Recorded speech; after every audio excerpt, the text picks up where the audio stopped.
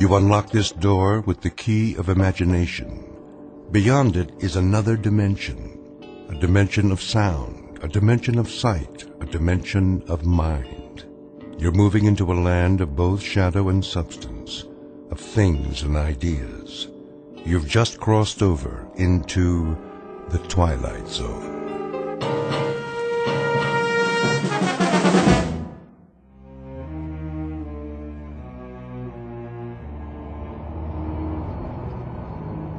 Why are you driving so slowly, Miller? Sorry, sir. The traffic is unusually heavy today. I can see that. But can't you speed it up a bit? I wish I could, Mr. Gordon. Ever since we crossed the bridge, it's been bumper to bumper. Well, then try an alternate route. This is the alternate route, sir, but it doesn't look very promising. Oh, I'm going to be late. She doesn't like it when I'm late. No, sir. I better call home. A capital idea.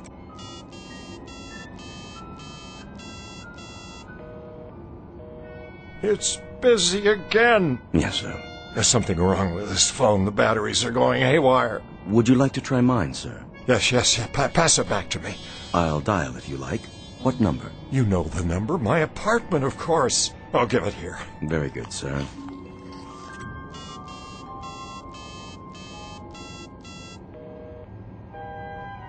Who is she talking to? Perhaps she's calling your office. Well, this phone isn't working either.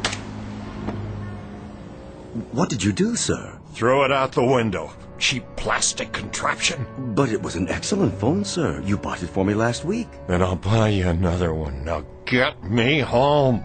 Yes, sir. May I suggest... The ice bucket is full. There's a bottle of your favorite scotch. Not at this hour.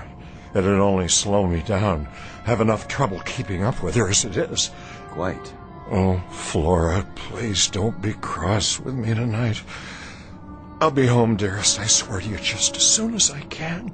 Of course you will, sir. Such a lovely girl. I'm very fortunate, you know. Most certainly. A man of my years. If I may say so, Mrs. Gordon is very lucky, too.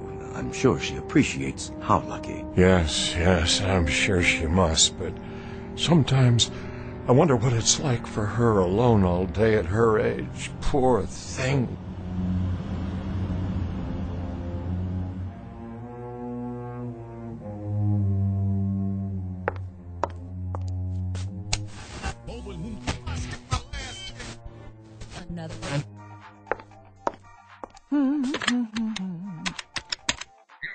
Hello, concierge?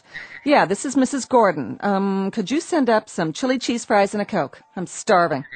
Just put it on the tab. Don't worry, Harmon will pay you. See, we were going out to dinner, but now I don't know if he's ever gonna get here.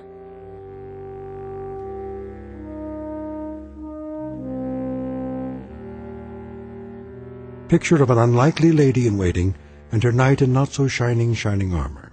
An aging man who leads his life, as Thoreau said, in quiet desperation. Because Harmon Gordon is a slave of love, and has been, most unfortunately for him, ever since his heart was captured by a woman some forty years his junior. And because of this, he runs when he should walk. He surrenders when simple pride dictates he should take a stand.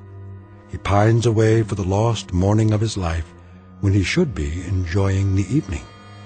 In short, Mr. Harmon Gordon may not know it yet, but what he seeks most desperately is a fountain of youth. And who's to say he won't find it? Because this just happens to be in the Twilight Zone.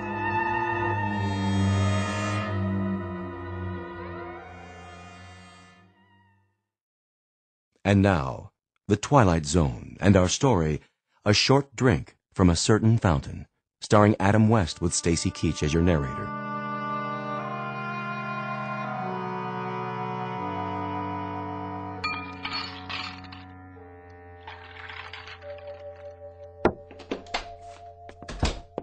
Flora? Flora Dare. Over here, Romeo. Oh, there you are, darling. What happened to you? Please accept my apologies. The traffic was backed up all the way from the office. How come I'm not surprised? You'd be late for your own funeral. And what did you do today? Go shopping again? Oh, I had a ball, an absolute swinging time. I only ask in passing, my dear, because I'm concerned. Oh, let's see. I had breakfast, and then I had lunch, and then I fired that stupid maid, and then I waited for you. Whether you realize it or not, big boy, that routine gets old fast. Very old. I'm truly sorry. Well, all in all, Harmon, it was one of those days that makes you want to jump off a bridge. Earth to Harmon, do you read me? There's still time if you care to go out. Yeah, and do what? Dinner at the tavern?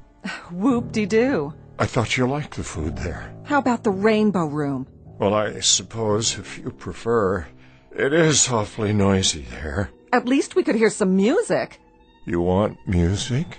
But I've bought you all the latest recordings. I want live music. Any kind. I don't care, as long as I can dance. Dance? Matter of fact, I feel like dancing right now. You do?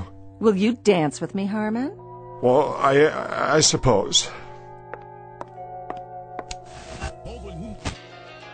Come on, baby. Let's see what you've got. Let me take off my hat and coat. Oh, come on, loosen up. Let it move you. Feel that beat? I'm, I'm trying, dear. Move it, Harmon. I'm doing my best. What's wrong with you? I can't keep up. Shake your booty. Now move your arms like this. Flora, please be more careful. It was just a piece of glass. It was a very old piece of glass. Worth what, 89 cents? Hardly. This, this was a Wedgwood. Big deal. I'll buy you six more just like it. I'll even have the concierge gift wrap 'em for our anniversary. Then we can sit around and play old records. Sounds like a hot night to me. What's that tune you like? Come to the church in the wildwood? Oh, a real toe tapper. You keep forgetting that I'm no longer a varsity end. Were you ever? Furthermore, if my doctor had witnessed that little burst of activity just now, Oh, that's always your excuse. it's not an excuse. My heart. If you keep telling me about your heart and all your aches and pains, Harmon, I'm gonna run out and get sick. Would you mind putting that cigarette out, dear? I've asked you not to smoke. Why not? Bad for your heart? You might start a serious fire. Honey, baby, one of these fine late evenings, that's exactly what I'm gonna do. Torch this whole mausoleum. There are things here that mean a great deal to me. Like what? That eyesore I knocked over? It was it was my mother's. Oh, spare me. It was worth very little except for the sentimental value. That's a word you may not understand, Flora. Sentiment.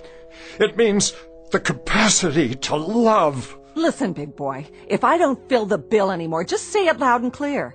In case you forgot, there are 14 flights a day to Reno, and I'd love to be on any one of them. But if I am, you're gonna pay.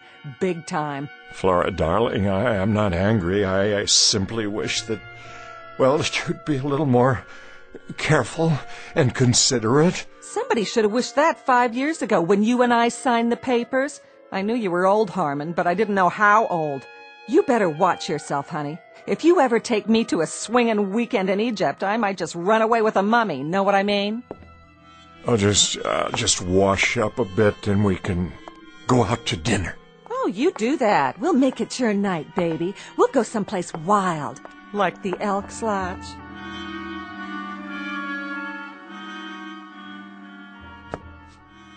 Flora, Flora, darling, what's happened to us?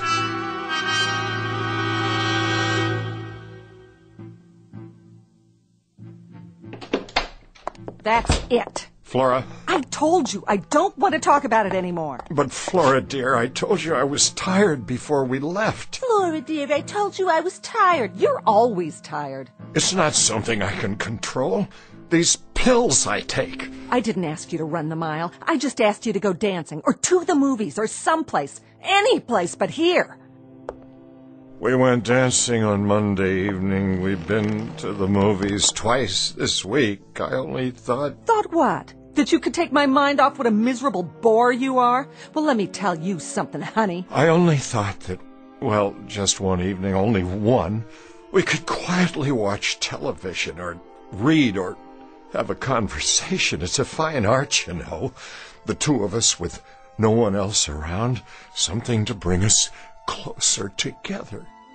And you think that's all it takes? This is so like you. The Late Late Show after we have a game of chess. That's not what I mean. Sounds really great for senior citizens at the old folks' home. But for your information, sweetie pie, I don't have my reservation there yet. They won't let me in. I still have my own teeth. Flora, try to be reasonable. And don't tell me how you picked me out of a chorus line and introduced me to the finer things in life. Your idea of the finer things is to hold hands in church and listen to the organ music. Flora, you know that isn't true. Take my advice. Get yourself a nice glass of warm milk and curl up with an almanac. Whatever it takes to get you through the night. Because this time, it ain't me, babe.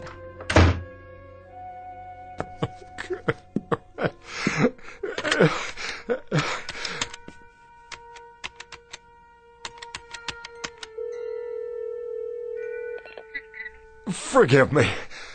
I know it's late, but is Dr. Gordon still in the lab? He is? May, may, may I speak to him, please? This is his brother calling. Yes, I'll wait.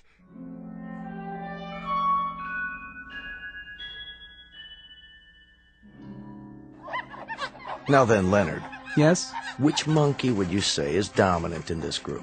I guess the largest. Look again. The largest monkey is seated in the corner of the cage doing absolutely nothing. Doesn't seem very dominant now, does he? You're right. Now, notice the small one in the center of the group. The young one? He has the food and water to himself. No one's challenging his position. But doesn't that go against the normal rules? Of social organization? Not where the young are concerned. And the cause of this new hierarchy, Leonard, is the Gordon vaccine. He's been injected for three weeks running now. His appearance has changed, and the others can see it. They may not understand, but they respect it. They have to. They share a responsibility for his well-being. I see. Dr. Gordon. The implications. I mean, if this process could be extended to other species, other social structures, the results would be. Just a moment. Yes, Julie, I thought I told you no more calls. I'm sorry, sir, but it's your brother. He asked me to ring through. Harmon? Well, what do you know? Put him on. Yes, sir. Go ahead, Mr. Gordon. Raymond, Harmon, is that you? I hope I'm not interrupting. Are you all right? You sound a bit under the weather. Oh, fine, just wondering if uh, if you could come over this evening. Tonight? Well, I don't know. I was just training a new assistant. How about lunch tomorrow? I'm afraid that won't do. I, I know it's late, but I'd like to see you. Why so mysterious? If it's something to do with your health, No, no, no. Everything's all right. Everything's fine. It's just that, well, I, I'd like to talk to you. I see. Raymond, please, please come over. I'm at my wit's end. I must talk to you. Very well then. Thank you, Raymond. You don't know how much this means to me. Relax, old boy. I'll be there as soon as I lock up. What is it, Doctor? Nothing serious, I hope. No, no, nothing serious. But if I'm not mistaken, there may be a slight problem of social organization in my own family.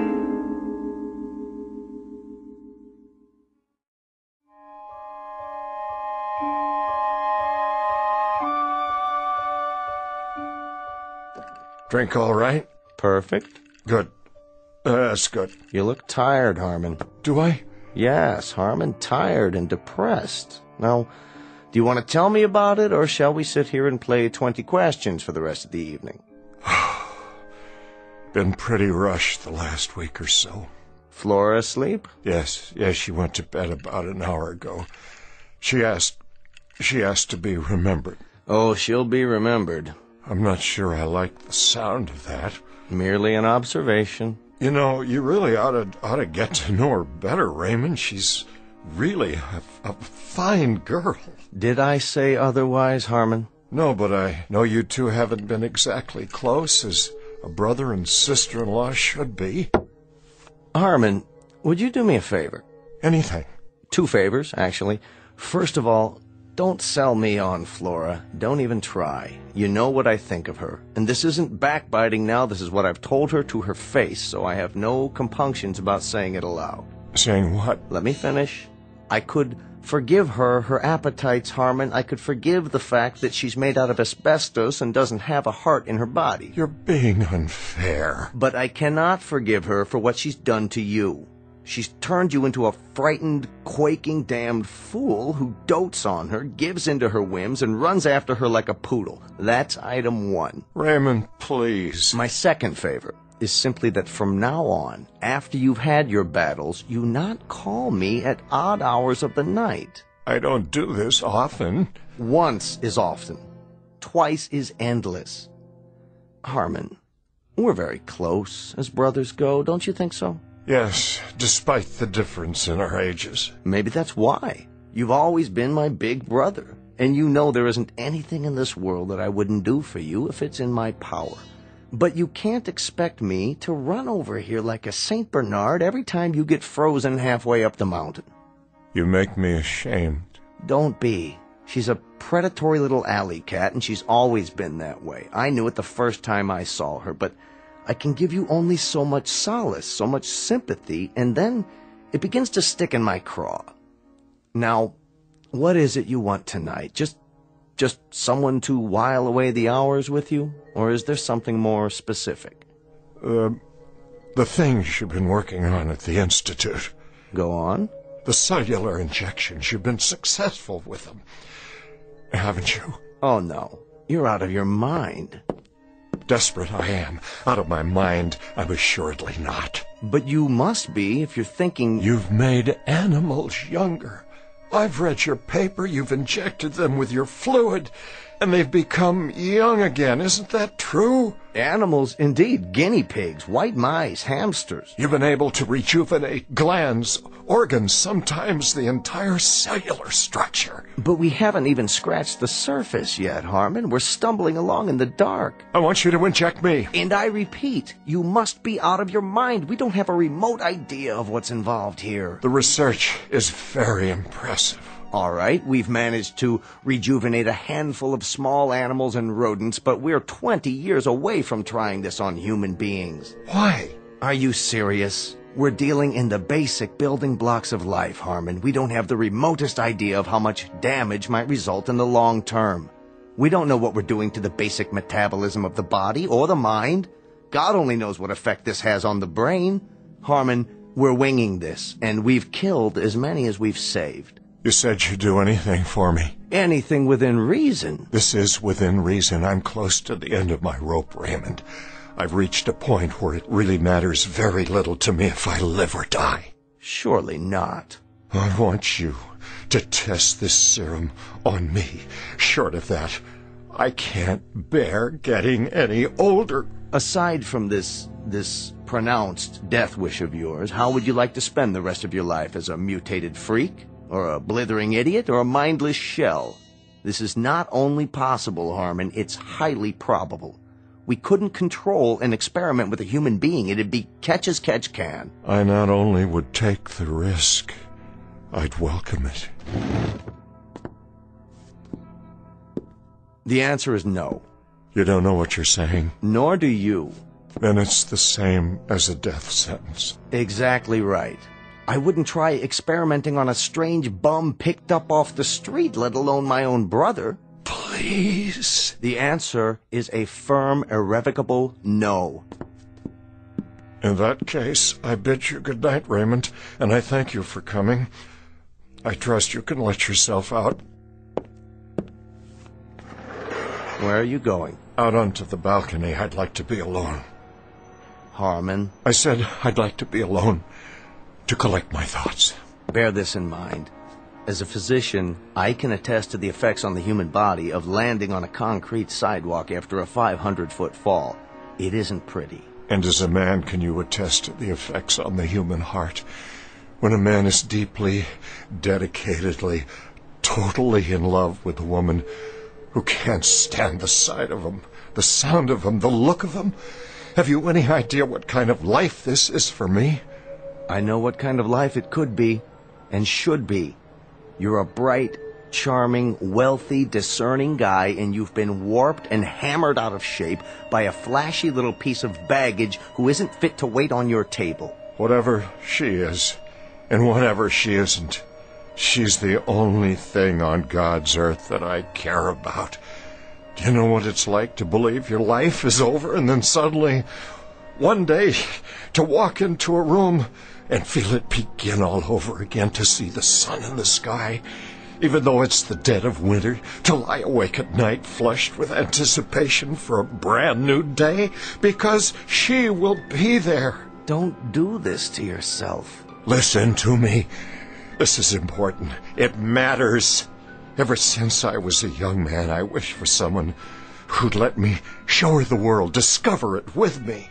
Because without anyone to share it with, the world might as well be buried under six feet of snow. Someone who'd be there, Ray, that's all. I wouldn't ask much in return, a kind word once in a while. She still has a love of life, believe me.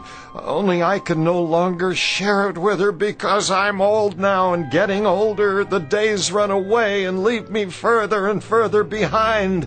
And now it's too late. I beg of you, Ray, if you've ever cared for me, your brother, give me this one last chance. Give me a chance to save myself.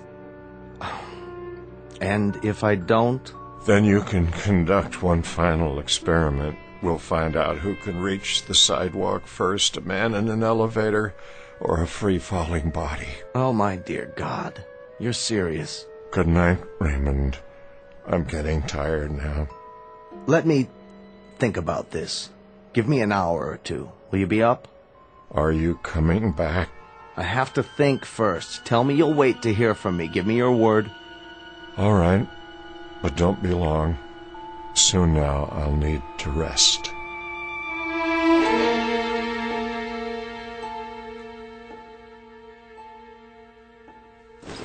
Would you like me to sit down? Yes. Roll up your sleeve. Easily done. I want to thank you for coming back. Don't thank me yet. I have to swab your arm. You'll feel a slight sting. Is that what you tell your patients? Sometimes.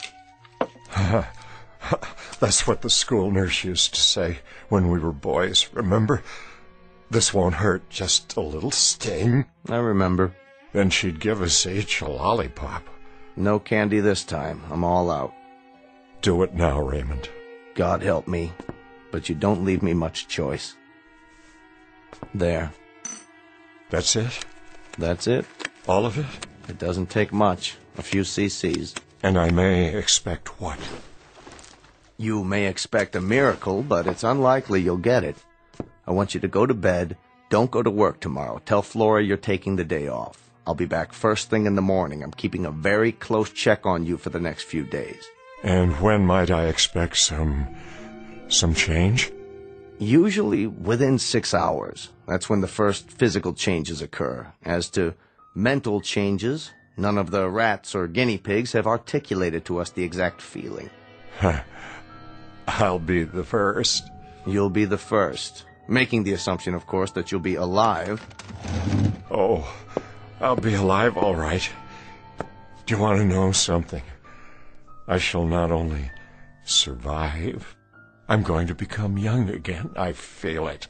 I sense it. I wonder if she has any idea what she's wrought.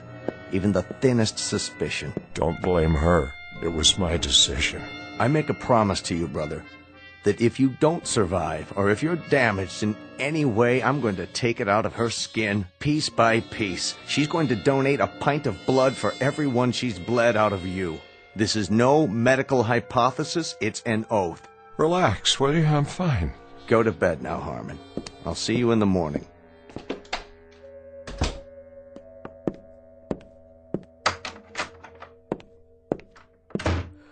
Oh, that you, Harmon? Yes, Flora. Go back to sleep. What are you doing in front of the mirror? Just looking at myself, dear. Well, don't do that. You'll have a nightmare. Time to call it a day, lover boy. Or are you gonna stay up all night? I like the sound of that. Up all night. You know, I just might. Don't take all the covers when you get in bed. I'm trying to sleep. Of course you are, Flora. Pleasant dreams.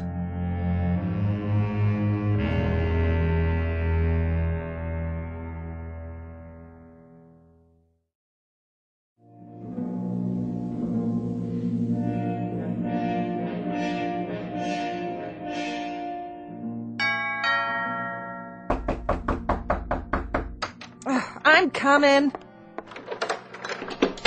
Morning, Flora. Why, if it isn't the quack himself? What do you want? Where's Harmon? He was last seen pounding a pillow. Some fun if you ask me. Is he all right? What is this? ESP or something? I asked you a question. How is he? He's okay. Boring, but okay. I want to see him. Then walk right in that room over there and blow a bugle. Maybe that'll get him going. He needs his sleep. I'll wait for him to get up. You do that. Take off your stethoscope and make yourself at home. You haven't talked to him this morning? I haven't talked to anyone. Not until you started pounding on the door. Do you know what time it is? What about last night? Did you talk to him last night? What difference does it make? He never has more than two words to say. But he sounded lucid to you?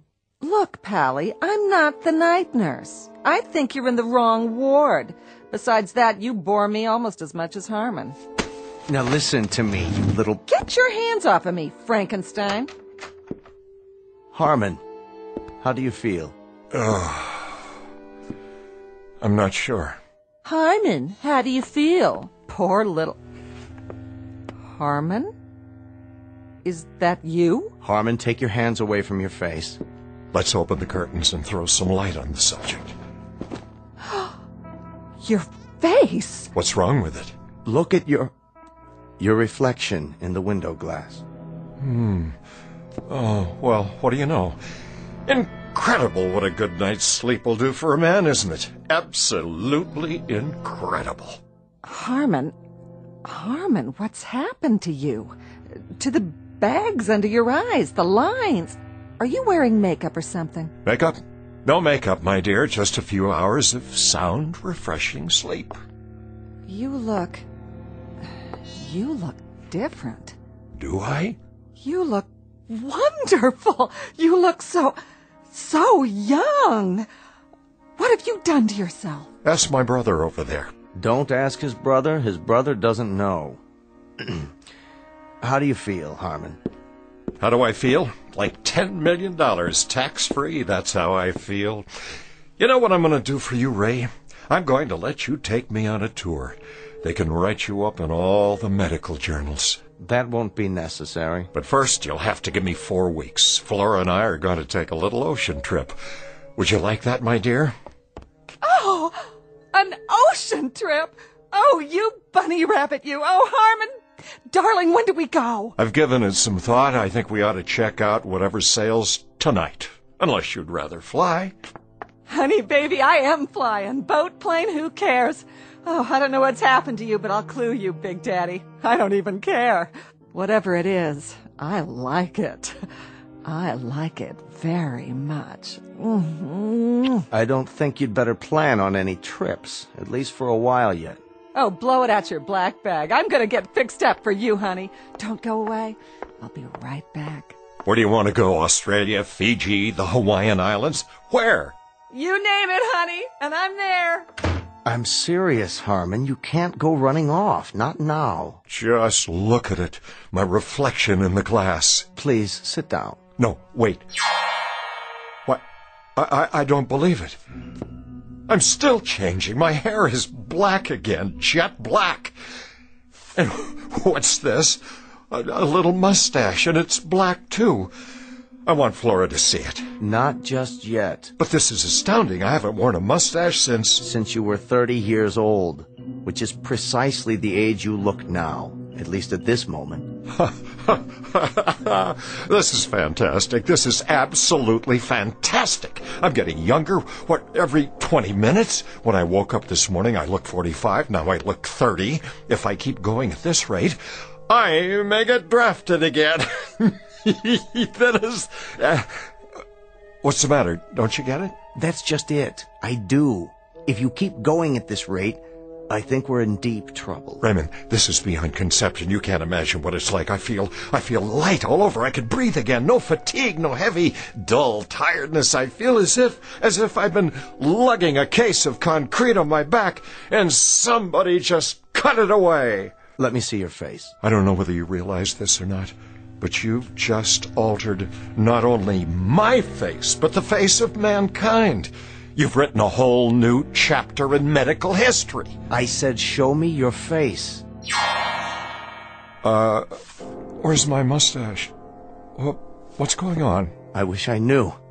But more than that, I wish I knew when it would stop. Or if it will. Why don't I make us some coffee now and we could... Harmon. Harmon, you've changed again. I know. I'm, I'm even younger. What's going on? What is going on here? Raymond, it's starting again. I feel it. I feel it happening inside. I still feel it. You'd better get back to bed. Yes, yes, I think I will. I think I'll go back to bed now. Harmon, I want you to tell me what's going on. I don't like it. I don't like it one bit. Let me go, please. What's happening to you? Your robe, it's too big. Why, Harmon? Take your hands away from your face. You've got to tell me what. No, Flora. Oh, no! Let him alone, Flora. Let him have some privacy.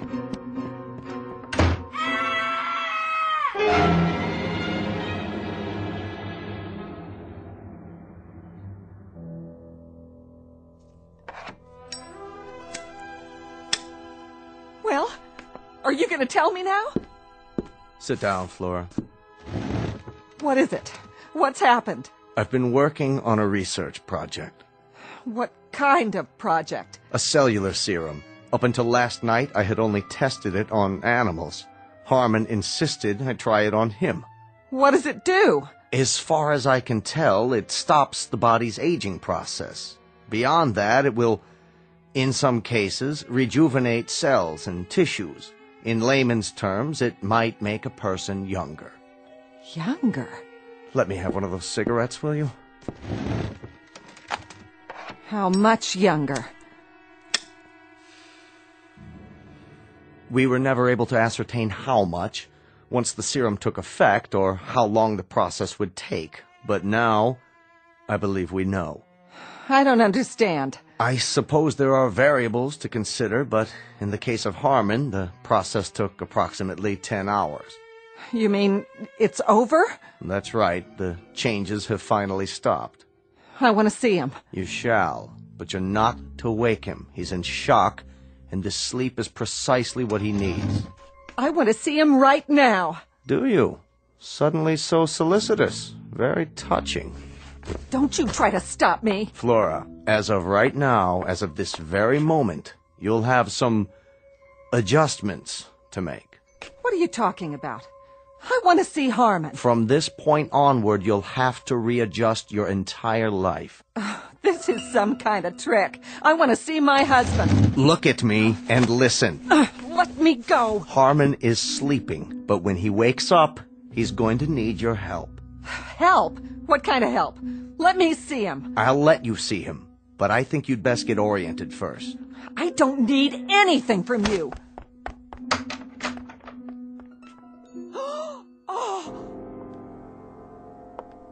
Are you beginning to understand? What is that in there? The ground rules have changed. The world no longer begins and ends with Flora. It isn't just Flora's wishes, Flora's temperament, Flora's capacity for anger, Flora's needs. Now it's something else.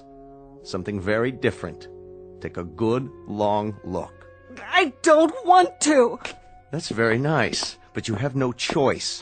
You've got a responsibility and you're going to honor it. You're going to take care of Harmon now. He's going to need you rather desperately. Now look at what's sleeping in your bed.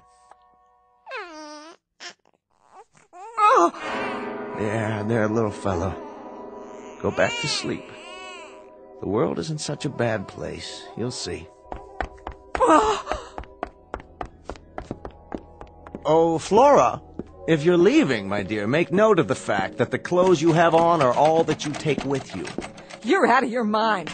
If you think I'm going to spend the rest of my life taking care of that grubby, thumb-sucking little baby in there... That's precisely what you're going to do. Short of that, Flora, my dear, you leave the premises as you came, unadorned. The furs, the jewelry, and everything else my brother gave you, that remains here. You can't make me stay here, and neither can he! There's other fish in this ocean, mister! Indeed there are, but you're not married to them. You happen to be married to my brother. That's crazy. Not crazy, Flora. Bizarre, perhaps, but very much a fact. And if I find out that he's left alone with maids, governesses, nurses, you're going to find yourself back on the chorus line. What? Do you understand, Flora? He's to get attention now, the attention he deserves. I don't mean intermittent, sporadic moments between nightclubs and beauty parlors. I mean morning till night. Won't he? Won't he grow? Yes. As of right now, he will grow. A little bit older each day, just as any little boy. It isn't fair! Isn't it? The two poles of life where respect is most needed, but it's the second one that's often short-changed. You'll experience the process together. He'll be growing older, and so will you, until you're both truly old. A little poetic justice, don't you think? That now you should finally have to drink from the same cup, that you should have to watch his youth encroach on your age, and the most anguished part of it, and the most illogical, is that youth always defeats age and then despises it for losing. Never realizing, my dear, never giving it a thought, that when tomorrow comes, there's always someone younger just outside the door, waiting to come in, forever waiting to come in. But everything's. Everything's on his side now. You see, my dear?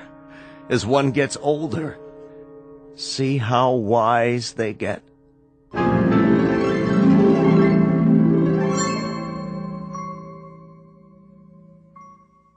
Shh.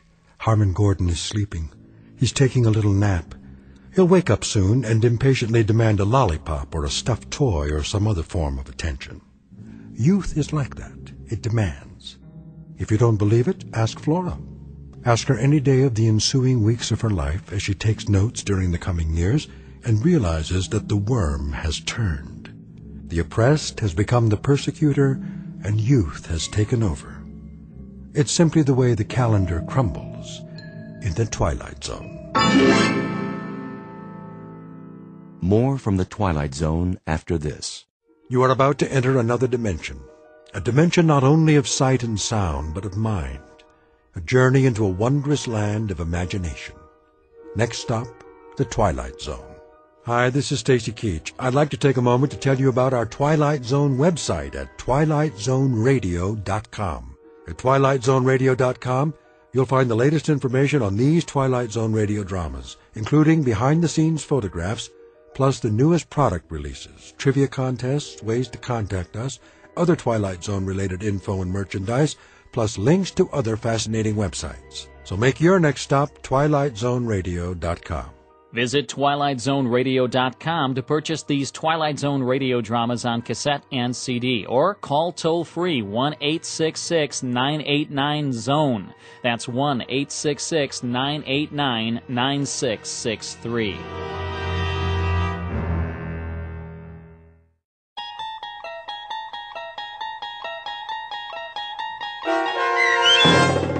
A Short Drink from a Certain Fountain, starring Adam West, with Stacy Keach as your narrator, was adapted for radio by Dennis Etchison and based on a script by Rod Serling from an idea by Lou Holtz.